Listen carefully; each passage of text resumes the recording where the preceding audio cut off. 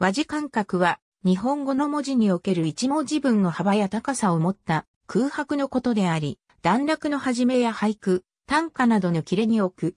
縦書きの場合は漢字一文字分の高さとなり、横書き時は漢字一文字分の幅となる。一文字分の高さ及び幅のことを全角ということより、全角スペースとも呼ばれる。組版においては、全角空きと呼ぶ。ラテン文字におけるスペースとは、意味が多少異なる。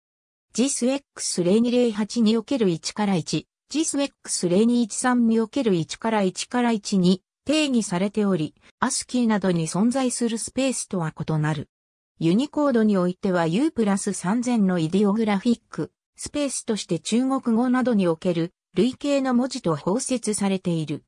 JISX4051 では日本語一文字の間隔を和字間隔というのに対し、ラテン文字におけるスペースのことをオーブン間隔としている。和字間隔の使用方法例タイトルは3和字、間隔文開ける。署名のもとは1和字間隔開け、名字と名前の間は1和字間隔開ける。段落の始めは1和字間隔開ける。込み出しの前は2和字間隔開ける。上記以外にも下記のような例がある。コンピュータプログラムのソースコードで和字間隔を入力した場合は、スペースと同一であるとは扱われない言語が多い。一方で、トークン区切りの一種とみなしてしまう環境も存在することから、互換性があるはずのソースコードを他環境からコピーペーストした際、正常に動作しないことがあり、注意が必要である。